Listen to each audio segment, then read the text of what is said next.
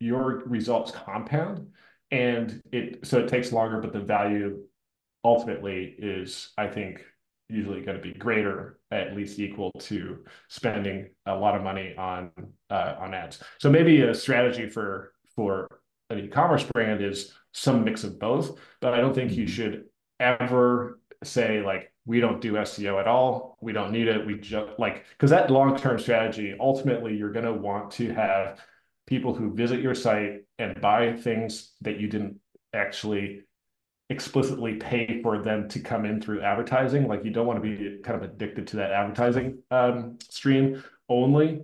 And uh, so you know you're you've got to be doing something on the SEO side to find to ultimately have a re, uh, this reward. And yeah, so, that makes absolutely that makes absolutely yeah. sense. And I think another thing is also that organic traffic usually is better quality traffic. The conversion rates from organic traffic are usually higher than from paid traffic because with paid traffic, you're sort of in the hands of Meta or Google.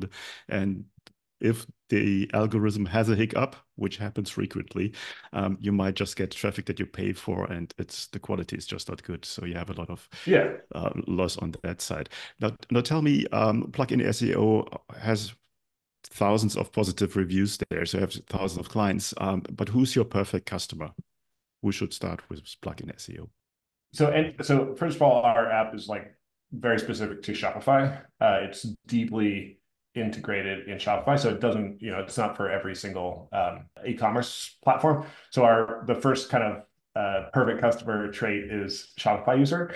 Uh, the second thing is that we have you know really good tools for uh, brands of every size. So if you've got a half a dozen products all the way up to thousands of products, our app will uh, will work just as well across that whole spectrum. So and then I think what we also pride ourselves in is like taking good care of customers who really don't know anything about SEO and it's they're very new. So we have a toolkit that's powerful enough for somebody who's really familiar with SEO to like leverage and make a bunch of progress for for those brands.